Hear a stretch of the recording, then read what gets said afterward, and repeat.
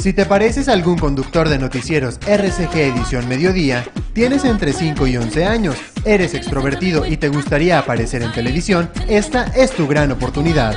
Te invitamos a que conduzcas con nosotros este 30 de abril en el noticiero con Alexandra Campos y Roberto Morales. Presenta las noticias como todo un profesional y vive la experiencia de ser visto por todo el estado de Coahuila. Envía tus datos adjuntando una fotografía de cuerpo completo y una de rostro al correo electrónico noticiasmediodía.gmail.com. Este Día del Niño queremos que seas nuestro invitado especial. Además, tendrás la oportunidad de observar cómo se hace un programa de televisión.